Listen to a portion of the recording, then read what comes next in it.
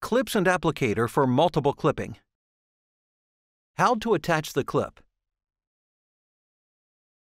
Open the package containing the cartridge.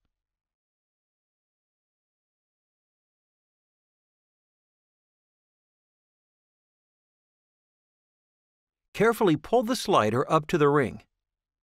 Place the cartridge on the coil sheath. Hold the coil sheath in position by pinching the grip of the cartridge.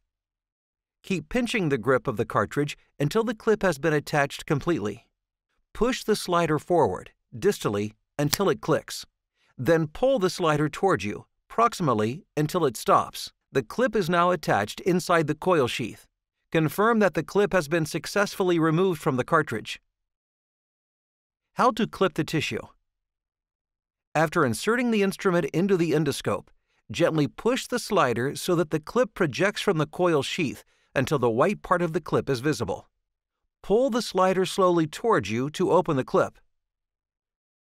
Hold only the ring and rotate the rotation grip to orient the clip so that it can be applied to the tissue.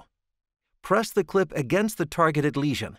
Pull the slider firmly to close the clip on the target site, and then gently pull the slider up to the thumb ring to detach the closed clip.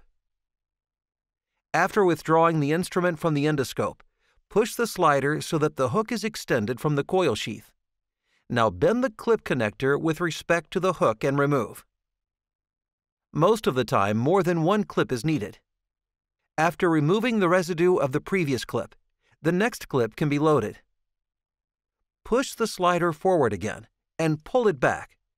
This is called push-pull action. To open the clip, push the slider forward again, and you see that the clip looks like an X. Pull the slider back until it looks like a V. Now place the clip into the position that you need, and after the positioning, pull the slider back to detach.